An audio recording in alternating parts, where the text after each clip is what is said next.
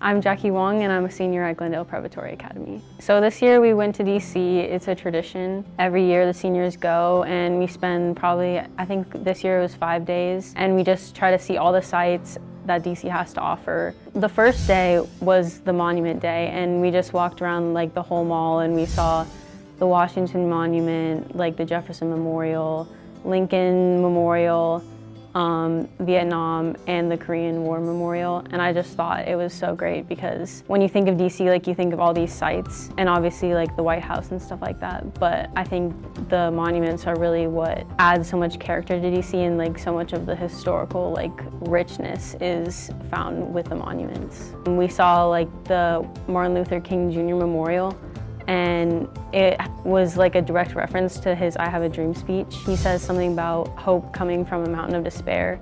And so the monument itself is like has two stones and then in between it like visitors walk through the middle which is the Valley of Despair and then on the opposite side you look at um, King and his like he's carved into the stone and he's holding like one of his speeches. So that was one of the most direct things that ties in with the curriculum.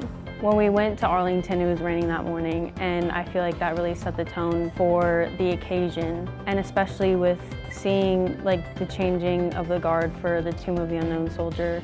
It filled me with a lot of pride knowing that our country dedicates so much honor and respect to people who paid the ultimate price. I had such a great time with my friends just because it's a different environment than most people I've ever had before. Like Mrs. Sarbacher said that it's kind of like a taste of college, which I definitely appreciated. And it is definitely bittersweet because like when you look back on the memories, you're like, it's sad that I'll be parting with all these people, but I just am so grateful that I had that time with them just to experience friends in a new way and like get deeper with people especially with like living with them for a week and just seeing people in like their everyday. Trying to like navigate the metro was definitely very character building for us. Um, I'm gonna remember that fondly. Who can say that they've done that with their friends and their peers? Like that's kind of a once in a lifetime thing.